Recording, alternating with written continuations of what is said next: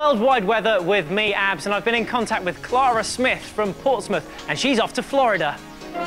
Yes, please. Let's see what the weather's going to be doing there. It's going to be about 29 degrees and sunny, but by the night time, there will be some thunder and lightning. So make sure you send us a postcard from your holiday, please, Clara. If you want me to predict the weather for you, get in touch. Send me a picture of yourself to this address here, CBBC, PO Box 9989, London, W12, 6PA. Have a good day, y'all. Yes, please. he definitely is a baldy slaphead, isn't he? No, as bald as a baby. Oh.